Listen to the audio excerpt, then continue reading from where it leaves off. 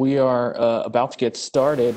Um, again, for all of those who have joined, uh, my name is Tim Hoagland. I am the interim director of communications over at CDT, and we are terribly excited uh, that you all joined us today. Uh, we would love for uh, this conversation to get started, and I'm going to kick it over to Lisa Hayes. Lisa. Thanks, Tim. Good morning, everyone. I'm so glad you were able to join the Center for Democracy and Technology. I'm coming to you from CDT's Washington, D.C. office, which is incredibly dark and quiet and still this morning. And that's because CDT's US office and CDT Europe and Brussels are closed, with our staff working remotely in the interest of public health. The dark and echoing hallways around me reflect that this is truly an unprecedented moment for the modern interconnected world. COVID 19 has brought our daily lives to a screeching halt, and we will be feeling its impact for years. That said, we are incredibly encouraged by the early signs that technology and data may play a pivotal role in defeating COVID 19. CDT's incredible team is engaged with the COVID 19 response effort on a variety of fronts, from working to improve the online experience for students to ensuring the cybersecurity of the upcoming US elections. Through all of this work, our overarching priority is to ensure that democratic principles and human rights are embedded in any COVID 19 response. This is the first of a series of webinars that CDT will be presenting on COVID 19 and its impact on digital rights. Today, we will be exploring gaps in US privacy and surveillance law that are laid bare by proposed responses to the spread of the coronavirus. Our panelists will be addressing issues that include the types of data the government is seeking to combat COVID 19, the surveillance and consumer privacy laws that are supposed to protect that data, and the principles that policymakers ought to consider when determining whether to obtain and utilize the data. How is the data protected? And if it isn't well protected, what are the implications for consumers' willingness to share the data to help fight the disease? We have an outstanding panel of CDT experts to help us understand these issues. Greg Nojeim is the director of our Freedom, Security, and Technology Project. Greg will help us understand how surveillance law plays into the coronavirus response. Andrew Crawford, our policy counsel on our privacy and data team, will focus on the limits of the laws protecting our health data and the absence of a baseline consumer privacy statute in the United States. And Jens Henrik Jeppesen, our Director for European Affairs, will contrast the US experience with that of the EU, which does have a baseline privacy statute, the GDPR, and will help educate us on how the GDPR is being interpreted in this crisis. Before we get into this discussion, a few quick housekeeping notes. We're scheduled to run until 11:45 this morning Eastern, and we are recording this webinar. The video will be available after the event. Some of you have already submitted questions for the panelists, and we will do our best to address those questions throughout the session. If you are joining us via computer today, please feel free to use the chat function to privately submit questions directly to Tim Hoagland, CDT's Interim Director of Communications. You can start a chat with Tim by opening up the participants panel, hovering over his name, and then clicking on the chat icon. Tim will collect all of your questions and share them with the panelists. You can also submit questions via email at questions at cdt.org. That's questions with an S at cdt.org or via Twitter at hashtag CDT questions and at CenDemTech, CDT's Twitter handle. If we are unable to get to your question during today's session, please feel free to follow up with us directly after the event. And with that, let's get into it. Greg, I'll start with you if that's all right. Sure. Can you tell us a little bit about what types of data governments and government health authorities are seeking to fight the spread of COVID 19 and, and what do they want this data for? So there's a variety of types of data that they're seeking. Um, the data include location information um, generated by the operation, for example, of an app or a cellular telephone. Um, and some of the providers are volunteering aggregated location information in the form of mobility data showing where um, the travel trends are, So they can show, for example, the extent to which stay at home orders are being abided by, uh, and whether people are reducing their travel to business areas, to downtown areas, as would be expected if they were complying with stay at home orders. So um, this kind of aggregated data, I think, is very useful, and um, if properly aggregated, doesn't have the same kind of privacy implications that individualized data would have. In addition, um, there's discussion about providing proximity data. That's information showing how close you are or were to a person who is infected with COVID-19. Uh, these, uh, this proximity data is not yet being um, made available. It'd be on a voluntary on a voluntary basis under most of the models being discussed, but apps are being developed to create this uh, data and this opportunity to share it. And are governments in the US trying to obtain this information? And if so, are, are they successful and, and what types of entities have it? Um, the types of entities, start with that. Um, uh, your cellular phone provider has, for example, cell site location information showing where you are and where you have been, but not at a very granular level.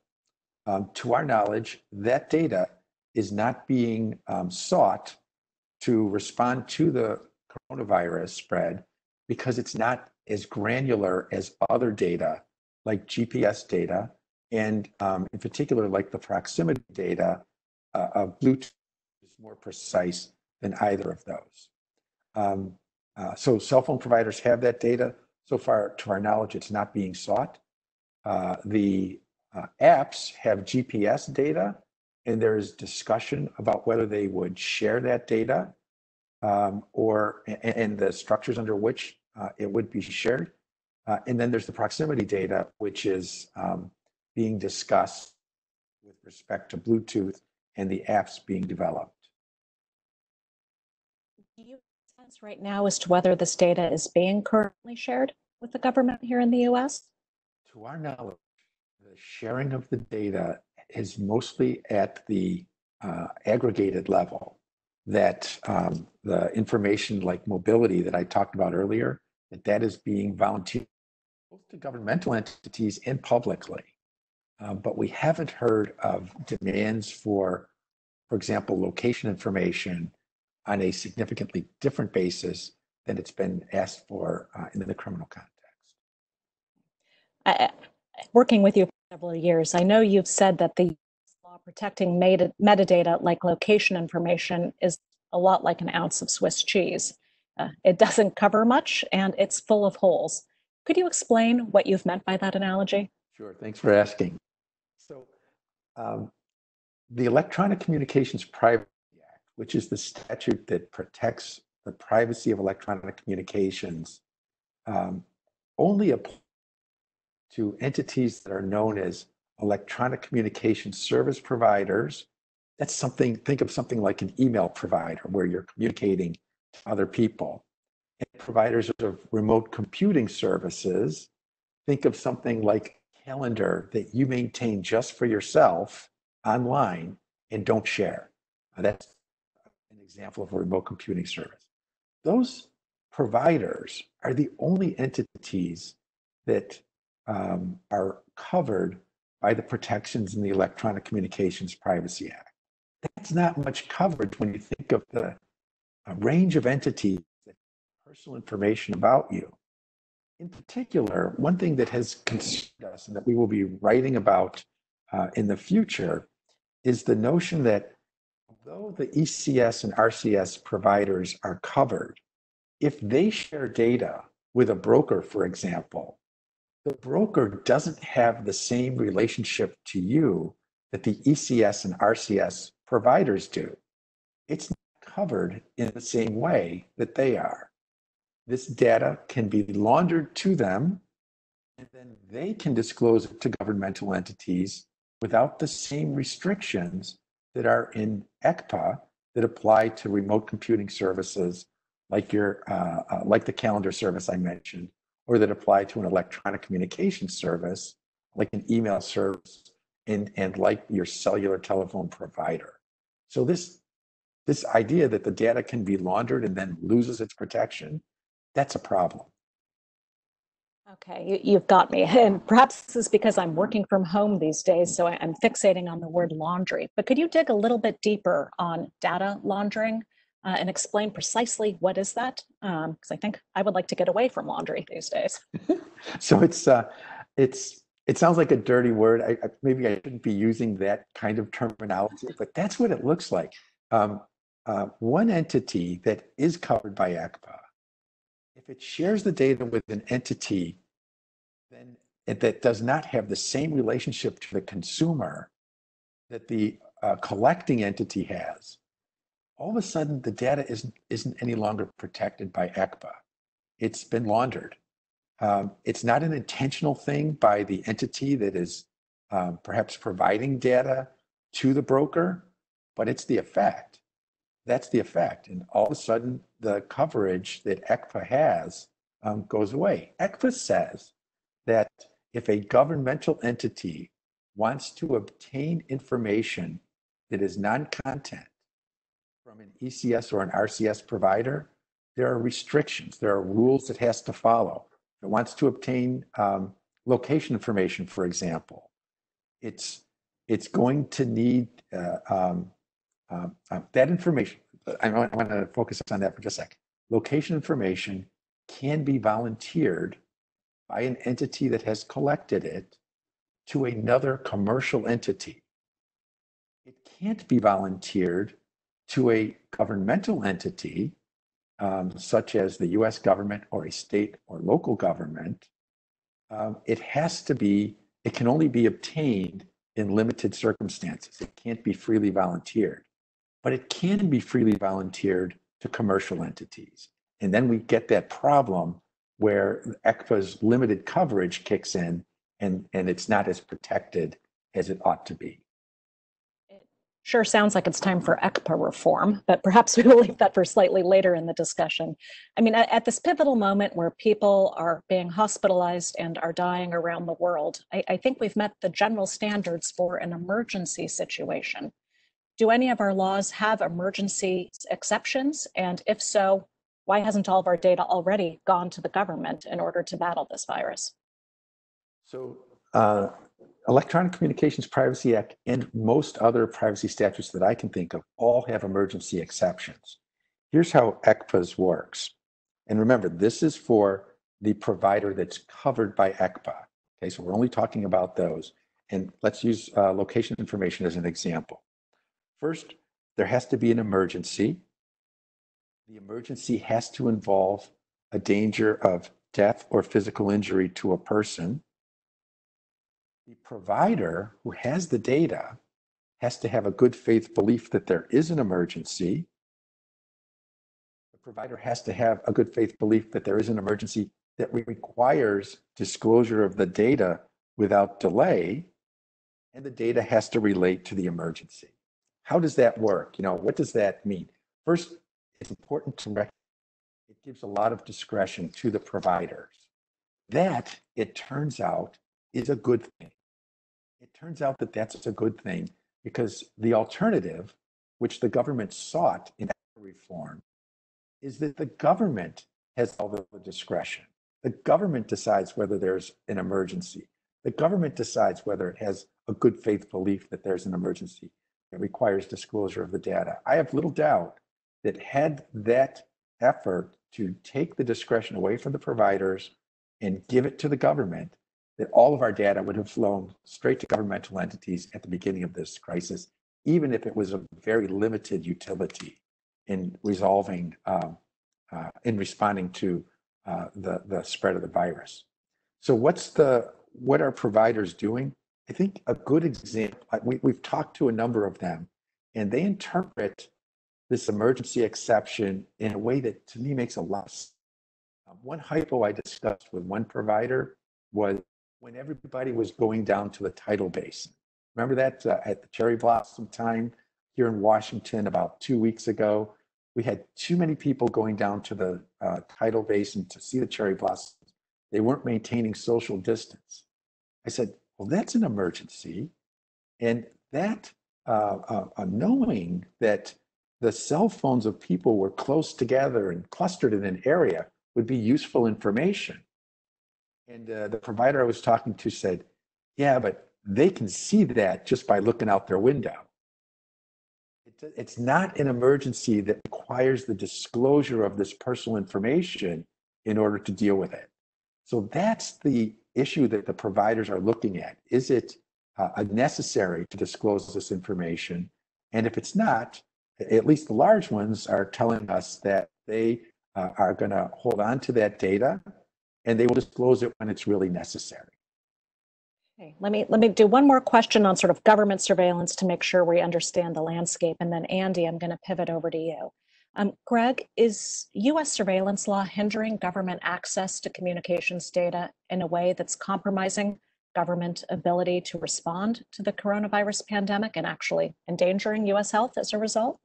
I don't. I don't think so. I think that um, again, there's a lot of discretion in the providers, uh, particularly with respect to emergencies, that the, and that they are uh, so far telling us that they're making um, responsible decisions and that they are prepared to make disclosures uh, when they are needed um, to respond to the emergency.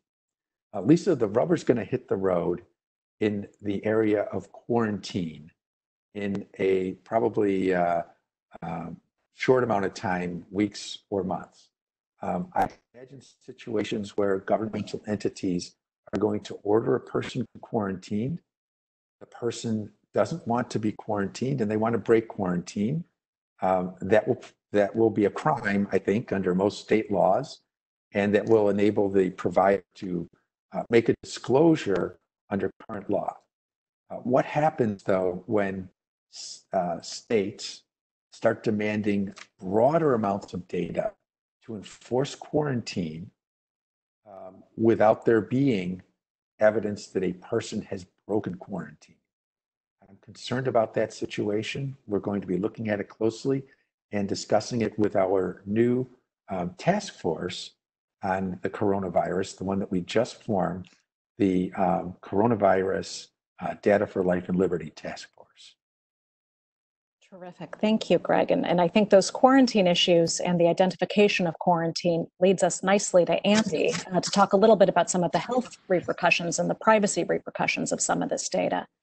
You know, Andy, the US does not currently have a comprehensive federal privacy law, but we're instead governed by a patchwork of specific laws, either for sectors or within different states. CDT has been advocating for Congress to enact comprehensive privacy legislation. Do you think the current COVID 19 pandemic is giving us additional challenges to passing a federal bill that adequately protects the privacy of consumer data, including health data such as positive COVID 19 testing? Uh, thanks, Lisa, and good morning, everyone. Um, you're right, CDT has been advocating for a national privacy bill, and a strong reason behind that is because consumer data, including sensitive health data, uh, isn't specifically regulated by any uh, national privacy framework.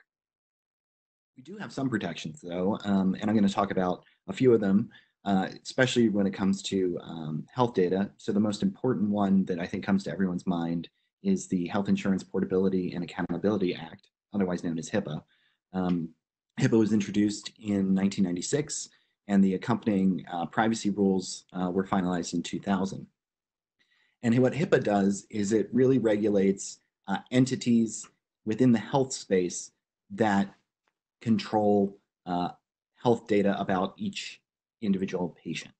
Um, the entities that HIPAA covers are called covered entities. Those are things that most people, you know, associate with the health uh, care industry, doctors, hospitals, insurers, and also third parties that kind of help those entities do the job of providing health to us. Um, the information within HIPAA uh, is called protected health information. What's important to note though, with HIPAA, similar to some of the uh, examples Greg gave in the security and surveillance context, is that if you're not a covered entity, um, the HIPAA privacy protections don't really apply to the data. So you can have data that is held by a uh, medical provider that would meet HIPAA protections, But if a patient or consumer were to move that data at the request uh, to a third party uh, app that isn't one of those covered entities under the statute, those HIPAA protections wouldn't follow the data. Um, so there's there's gaps. Now, outside of HIPAA, there aren't there are other backstops, and the most important one there is uh, the Federal Trade Commission Act. So the FTC Act um, has kind of developed over the last decade or two as kind of a de facto um, privacy uh, enforcement uh, bill, and the FCC has taken action in that, mostly under their Section 5 unfairness authorities uh, and deceptive uh, practices.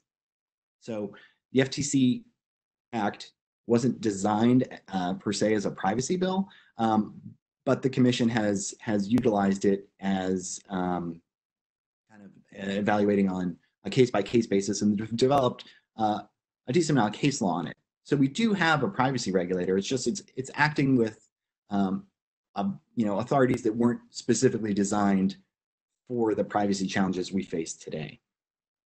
So there's momentum growing in Congress, uh, as most folks know, uh, on national privacy bills. Um, CDT has testified uh, a number of hearings uh, advocating for why we believe this is important.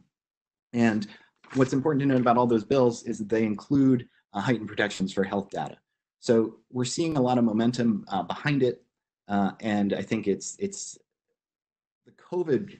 Back to your original question. Sorry, it's taken so long to get to it. Has COVID made it more uh, pressing? I think the the answer is um, it's exposed um, that there's lots of health data that's being uh, derived and um, created that falls outside of those HIPAA protections.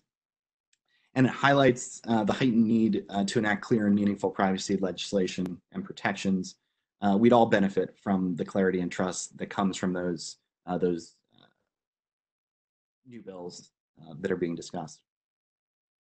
Thanks. Um, you know, companies, academics, governments, civil society, we're all searching for ways to leverage technology and better our response to COVID 19. Are there some core principles that these various policymakers should keep in mind when deciding what types of privacy protections and data practices are appropriate?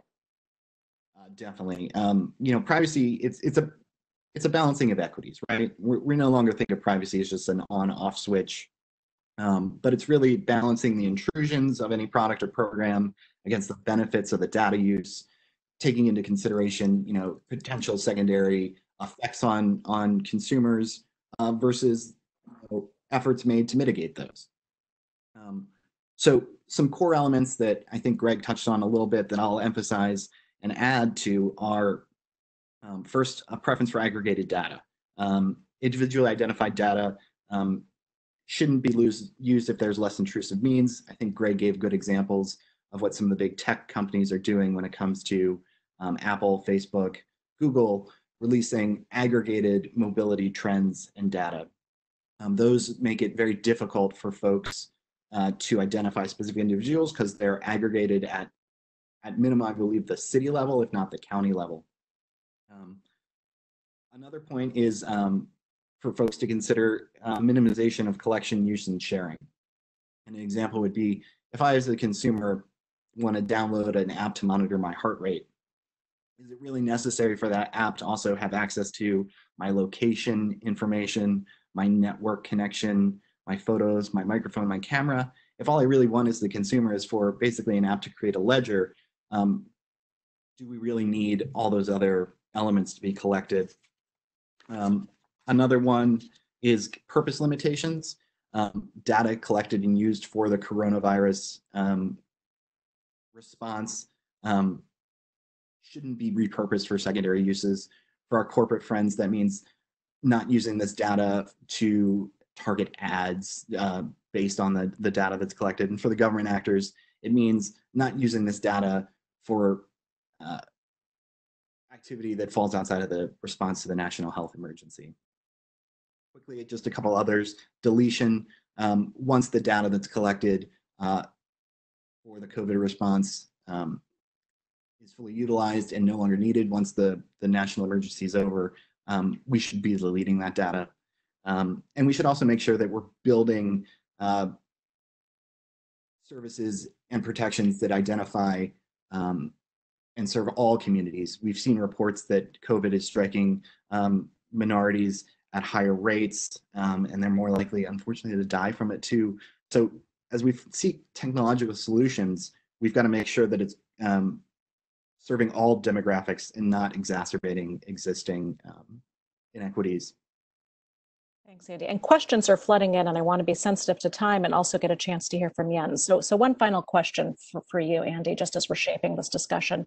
In this context, what constitutes health data outside of HIPAA? What types of data do you think should require additional privacy protections at this moment? Sure. And I hope what I've tried to get to already is there, there's a lot of data that's going to be outside of HIPAA that is probative into uh, health status of individuals and of our communities um, existing and emergency and excuse me, emerging technologies, um, as we've seen, are collecting whole hosts of data. Um, I'll go back to the the mobility data again.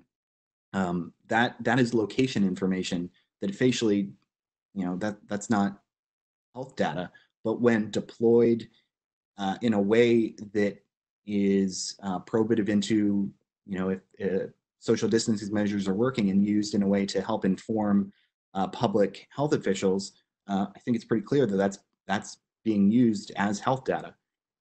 So, you know, what what we should be doing is making sure that the burden's not just falling on consumers when it comes to uh,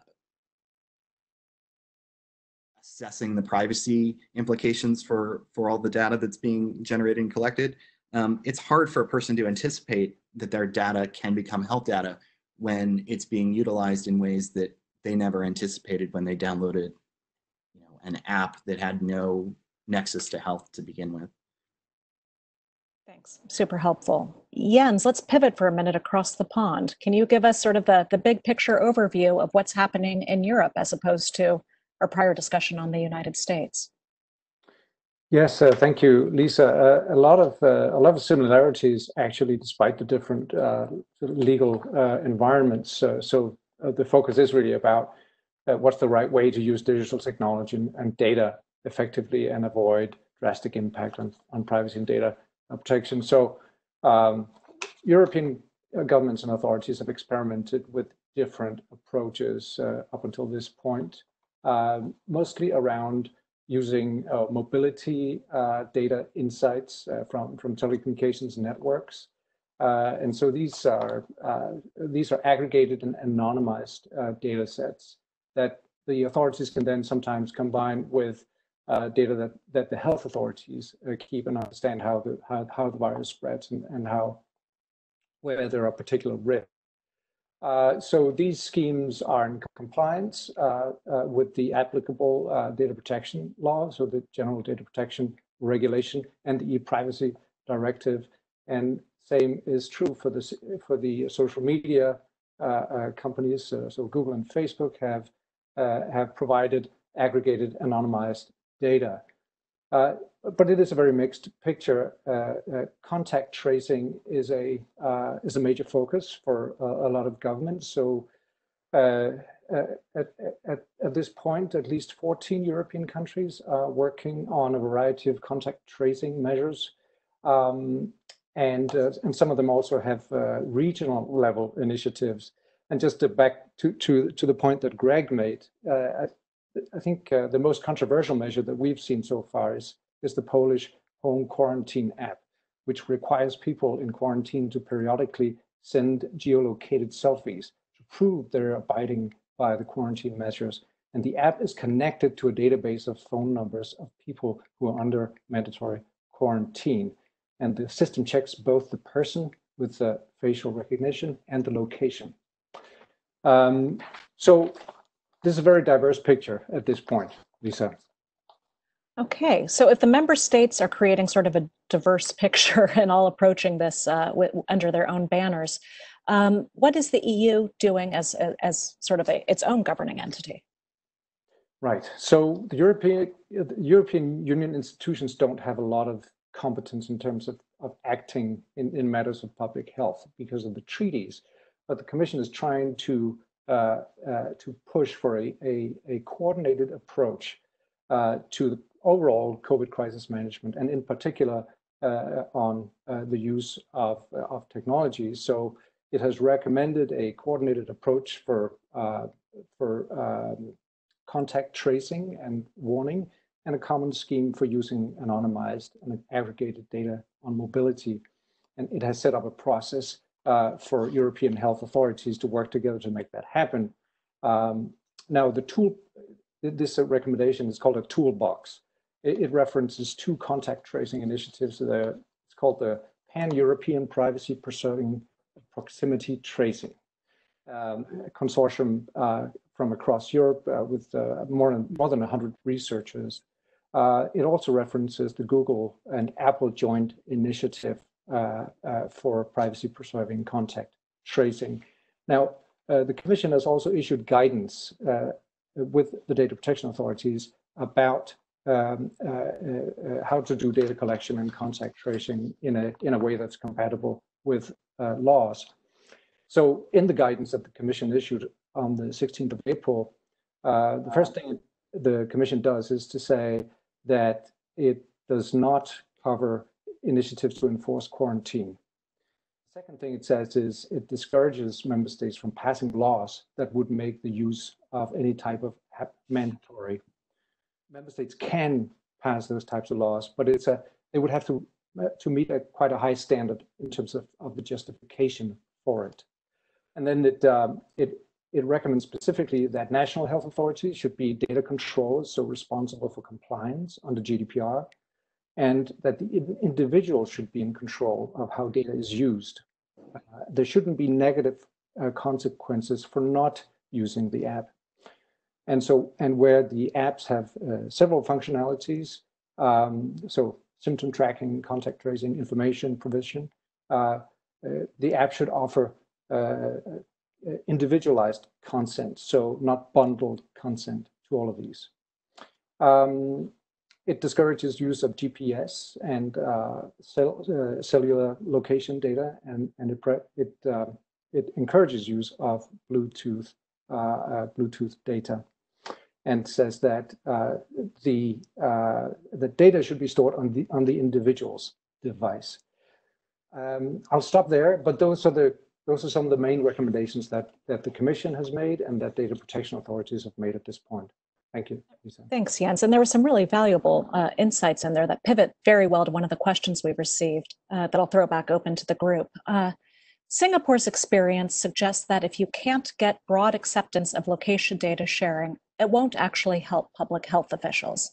In other words, if only 20% of the population shares its information, it's not useful to assist to assisting health officials in preventing the spread of the disease. Um, if the US and the EU permit these various platforms to only be opt in voluntary platforms for location sharing, will there be sufficient uptake for these platforms to be effective? Greg or Jens, if you want to weigh in on that. Why don't I start uh, and then Jens, uh, you can follow. Um, think about what a mandatory program would look like uh, a requirement that individuals across the country all download an app on pain of what? If you don't have a cell phone, you're not going to be required to download the app. And the penetration rate for smartphones in the United States is 81%. So we have some limit even in the mandatory world. Uh, if you're required to download the app, are you just going to evade this requirement by buying a second phone? And if that's a risk, how are we going to prevent that in keeping in line with this mandated requirement? If you're mandated to, re- to download the app, you're going to focus more on the privacy implications. Are you going to um, bring the phone with you when you are out in public? So I think that there's some negative um, consequences of requiring that people download the app. And I'm not confident that it's going that it would result in um, more uh, data going to the um, healthcare providers uh, because I think that people will try to evade that requirement. Jens, anything to add to that? Same same issues would obtain over here. I think uh, at this point uh, there hasn't been discussion, uh, widespread discussion about mandating the use of, of any type of app at this point. Okay. Well, whether app, oh, sorry, go ahead, Greg. I was going to say one of the discussion points is whether the app will operate on a centralized basis so that notices that a person has been exposed to uh, people who uh, may who are infected with the with the uh, coronavirus would go directly to a governmental authority, to the health authority, versus residing on their phone and then going directly to people with whom they had contact. And uh, in Germany, there was a big debate about this. And the government had originally wanted to go with the centralized approach, the government in the middle. Uh, but because of the uh, concern about that approach, it went with the decentralized approach, uh, thinking that it will get a higher uptake because it gives people more control over data. It's a very good um, thing to think about. When people have more control, they are more likely to participate in a data sharing uh, effort that's designed to protect them. And I think that that makes a lot of sense to when we're thinking about what models to use. In a related vein, Greg, what do you think uh, the difference would be if something like this, rather than being mandatory, was a mandatory push out to all cell phones, perhaps as a system update, but gave people the ability to opt out after receiving that update? Do you think comfortable with the technology at that point? I, am not sure how they're going to respond to that. You have the option of opting out. People will have a million questions, right? What's it going to mean to opt out? And uh, what's it going to mean to opt in? What happens to my data? Can I control it? If I become infected, can I control it or not? That's another, I think, important question. And then, Lisa, there are these other questions about um, uh, what is voluntary versus mandated could the app start as voluntary and then employers start saying well we want a safer workforce so we employers we're going to require it of our employees uh, could a stadium owner require it of everyone going into the stadium? So there's these varying um, degrees of voluntariness that we need to be thinking about uh, as these apps uh, come online. They are coming and we are getting short on time, so let me pivot just a little bit to Andy uh, for a follow up question. How much and what types of data should public health authorities be able to maintain after the public health emergency is over in order to conduct research and evaluation, learn from our experience, and improve the outcomes for next time? I think that's a great question. And of course, I mean, I think we have the luxury now of, of you know, having vast amounts of data uh, that can really help inform uh, our response not only to this current pandemic, but but a host of um, potential ones in the future. So of course we need to make sure that we have the ability to learn from it. Uh, I am not a, a, health expert. I'm not an epidemiologist, so I would defer to you know those folks to identify the exact um, types of data sets that are that are really meaningful to maintain and to learn from that. But um, of course, any any sort of you know privacy regime that that is set up around this uh, should include uh, exceptions for academic research. Um, and to the extent that that data set is going to also include more sensitive identifiable data um, we include more privacy protections around it.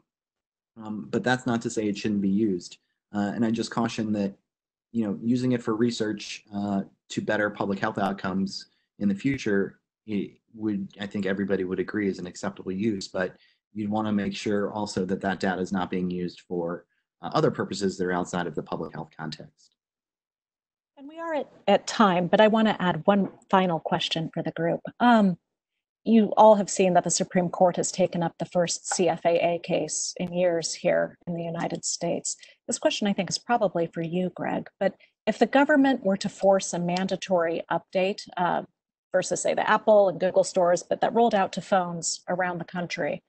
And I jailbroke my phone to delete the app. Would I be guilty of a computer crime?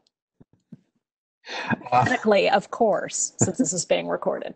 So the, the issue before the Supreme Court uh, relates to whether a mere violation of terms of service is um, going to be uh, what all that's needed for violating the Computer um, Fraud and Abuse Act.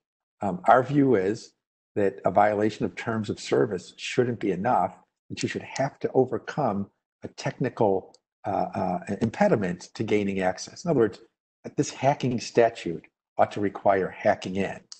Now, your question about uh, the update, I'm not sure. I, I, need to think about that a little bit more. But the CFAA case is a really important one. We'll be filing a brief in that case uh, because we don't case that everyone is violating the Computer Fraud and Abuse Act all the time because we're all violating terms of service all the time uh, as we use the different um, um services that are available to us. And I will consider your response to me as, you know, attorney-client privileged for that. We'll just uh, leave it there. I, I, know we are at time, um, but I do want to thank all of our panelists for joining us and to remind everybody that we have put together a new landing spot on our website for all of our coronavirus-related work, which is cdt.org backslash coronavirus. We will be having another webinar in this series that's looking at contact tracing applications in the coronavirus context exploring whether Bluetooth applications can effectively notify people that they have had contact with somebody infected with COVID 19 that warrants either getting a test or self quarantine. If these contact tra tracing apps are effective, what will be their cost in terms of privacy? Thank you all for joining us. For those of you who submitted questions that we weren't able to answer, we will try to follow up with you after this event, but please do feel free to continue reaching out to questions at cdt.org, and we'll do our best to build them into future webinars as well. Thank you all.